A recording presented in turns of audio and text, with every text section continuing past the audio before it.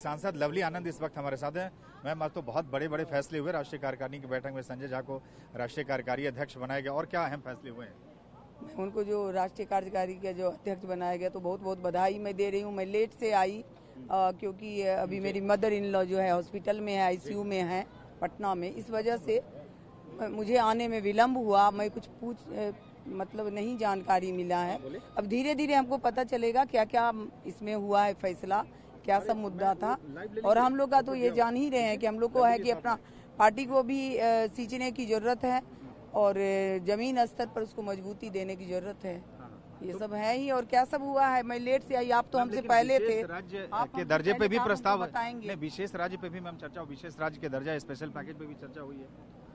हाँ तो मैं तो लेट से आई ना वो तो मिलना ही चाहिए। बिहार को जो है विकसित बनाना है आगे बढ़ाना है। और नीतीश जी के नेतृत्व में काफ़ी बिहार आगे बढ़ा है। अगर वो हो जाता है अगर तो और ज़्यादा होगा चार चाँद लग जाएगा बिहार में। मैम तो संजय जी राष्ट्रीय कार्यकारी अध्यक्ष बने से क्या आपको लगता है 2025 में विधानसभा चुनाव भी होने हैं बिहार में? कैसे देखती हैं आप इसे? अरे हम लोग को देखिए पार्टी को मज़बूत करने का संगठन को मज़बूत करने का सबको राइट है। अगर माननीय मुख्यमंत्री जी ने ये फैसला लिया है तो स्वागत योग्य है। और हम लोग सबको मिलकर के पार्टी को ज़मीन स्तर पर मजबूती प्रदान करेंगे यही हम लोग का है। और हम अभी पूछेंगे जानेंगे कि क्या क्या फैसला हुआ क्या सब हम लोग को करना है। मैं लेट से आई आप देखे कि आखिरी में एक सवाल कल पप्पू यादव का एक इंटरव्यू हुआ था हमारे यहाँ तो कह रहे हैं बिहार दो नेता और दो अफसर चला रहे हैं। इस बयान को कैसे देखते हैं? दो नेता और दो अफसर बिहार चला रहे हैं। कोई ऐसा ऐसी बात नहीं है।